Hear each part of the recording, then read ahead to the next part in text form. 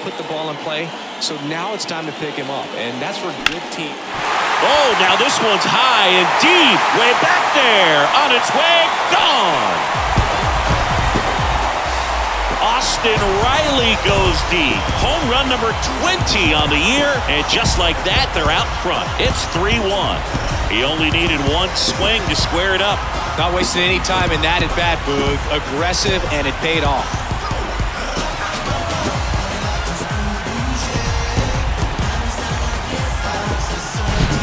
Looks like this guy was looking out over the plate, but he was ready to turn on the inside fastball. So direct to the pitch. Absolutely blasted out of this ballpark.